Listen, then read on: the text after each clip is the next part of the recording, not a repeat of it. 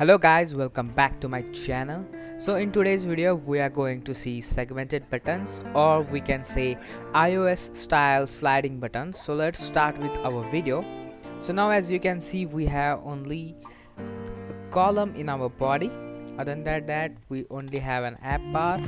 So let's start. So what we can do is now you can see i have int which is our selected control with the value 0 so let's begin the video. So inside our column what we can do is we can simply write let's say we have a center and as a child we'll have our Cupertino sliding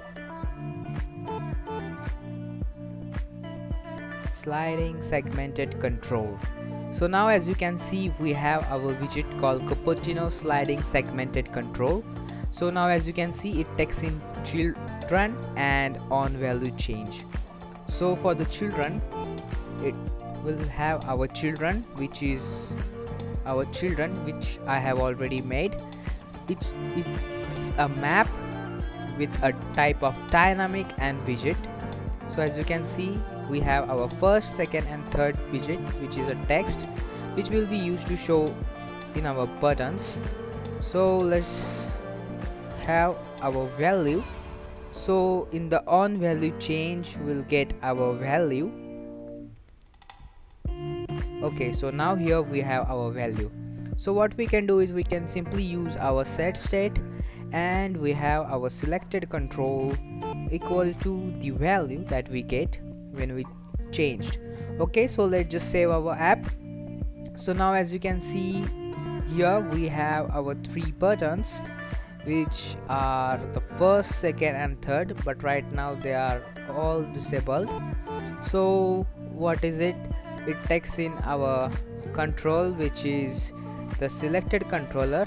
So as you can see we have to give it to our group value. So the group value will be our selected controller. So let's just save our app once again. And now as you can see it is highlighted as we have our first second and third so as we are clicking on it it will change and it will slide. So as you can see so let's give it a little bit of working to it. So now what we can do is we can simply just to look a more properly we'll have a property called background color. So let's give it a background color of let's say green. So let's just save our app. So now as you can see we have a green background color for our Cupertino sliding segmented controls. So now how we can use it is let's do something. Let's have a widget called expanded. And in the center let's have a child. And now what we can do is we can simply check if our segmented control value is 0 then we can just have an image I have an image inside my assets folder called image.jpg okay so if the value is 0 then we'll show this image.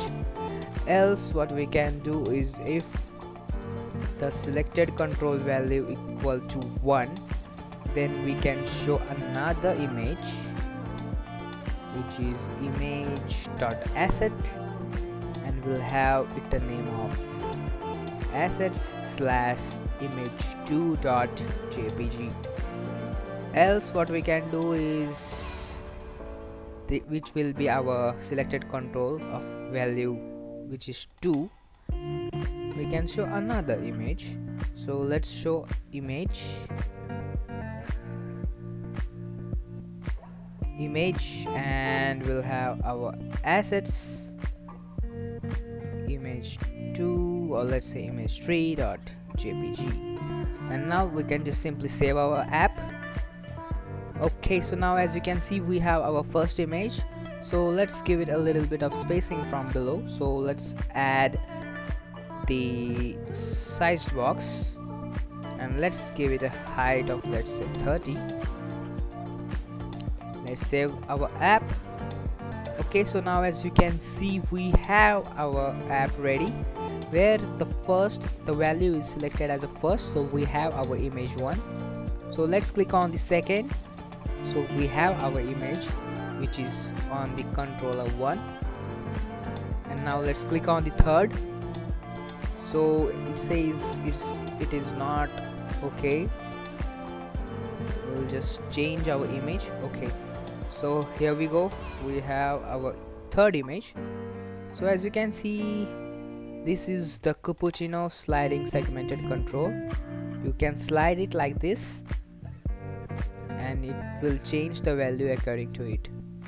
So this is how you can use these Cupertino sliding segmented controls inside your app and hope you found this video helpful.